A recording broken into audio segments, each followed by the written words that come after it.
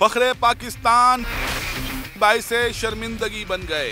19 नवंबर को भारत के शहर अहमदाबाद में वाक़ नरेंद्र मोदी स्टेडियम में इंटरनेशनल क्रिकेट काउंसिल ने वर्ल्ड कप जीतने वाले तमाम सबक कप्तानों को मधु किया है, जहाँ एक तकरीब के दौरान सबक चैंपियंस को खसूसी कोट दिए जाएँगे। लेकिन क्या उन्नीस सौ बानवे का वर्ल्ड कप जीतने वाले इमरान खान इस तकरीब में शिरकत कर पाएँगे?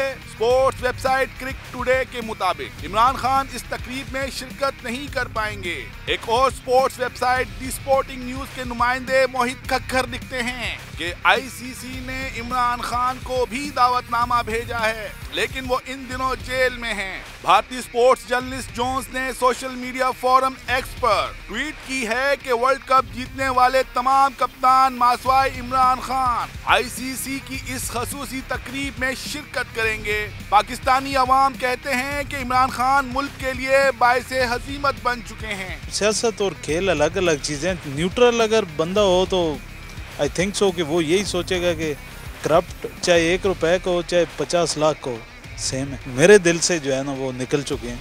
उसकी रीज़न ये है कि मैंने वोट इनको दिया था और वोट जो है जाए गया है शायद। वो स्टार्ट में थे क्रिकेट में। तो उनके लिए वो बहुत अच्छी जगह थी। इमरान खान साहब वैसे तो काफ़ी अच्छा वो अपन परफॉर्म करते रहे हैं क्रिकेट में मगर सियासत में आके उन्होंने अच्छा नहीं किया। इमरान खान साहब अगर क्रिकेट में रहते तो उनकी इज़्ज़त बरकरार रहती अब वो सियासत में आ गए हैं वो अपनी इज़्ज़त गवा बैठे हैं। उनको सियासत में नहीं आना चाहिए था क्योंकि वो बहुत बड़े क्रिकेटर थे।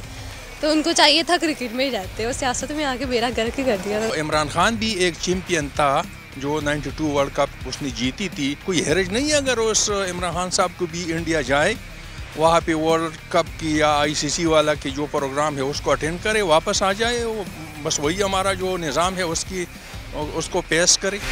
आलमी क्रिकेट काउंसिल की इस तकरीब में Clive Lloyd, Kapil Dev, Allan Border, Arjuna Ranatunga, Steve Waugh Ricky Ponting Mahendra Singh Dhoni, Michael Clarke और इयन मॉर्गन शिरकत करेंगे।